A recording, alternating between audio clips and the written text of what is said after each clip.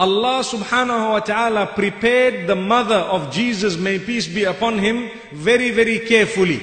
Allah subhanahu wa ta'ala prepared her by her prior to her birth being dedicated by her mother for the place of worship and for ensuring that she will be dedicated. She had made this promise to Allah subhanahu wa ta'ala, not knowing that she was bearing a female child.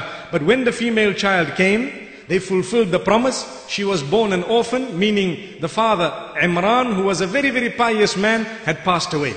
And Imran had a record for being a very, very upright man, a very, very good sheikh. He used to lead the people in prayers and so on. And Allah subhanahu wa ta'ala says that Zakaria, who is the uncle of Maryam or Mary, may peace be upon her, was the one who brought her up.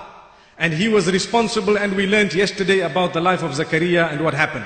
As a result, she was also a very, very pious girl. She grew up, Allah gave her lots of wisdom, lots of knowledge she learned under the tutorship of Zakaria alayhi salatu wasalam.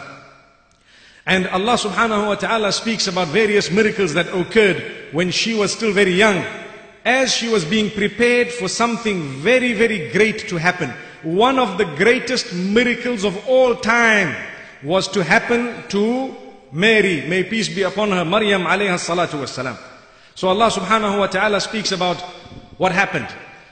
وإذ قالت الملائكة يا مريم إن الله اصطفاك وطهرك واصطفاك على نساء العالمين Earlier, when she was still quite young, growing up, Allah subhanahu wa ta'ala sent a message to her via the angels. And the angels told her, O Maryam, Allah has chosen you purified you from all polytheism.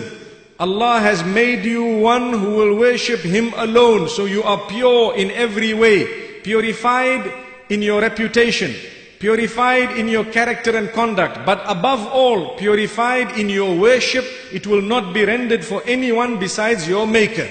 And Allah has chosen you above all the women of your time. Subhanallah. يا مريم اقنتي لربك واسجدي واركعي مع الراكعين Therefore, O Maryam, we want to inform you and instruct you. Submit unto Allah. Uqnuti li rabbiki. Submit for your own Rabb, the one who made you. And find yourselves from the ones who bow down and from the ones who are prostrate solely to their Maker.